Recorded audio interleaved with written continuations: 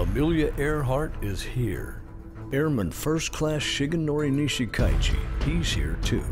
Lieutenant George H.W. Bush, Lieutenant Colonel James Doolittle, here too. Heck, even the Russians are here. You'll discover the aircraft, the artifacts, and the spirit of those who made aviation history at Pacific Aviation Museum Pearl Harbor. Free flight simulator coupon in our brochure or online.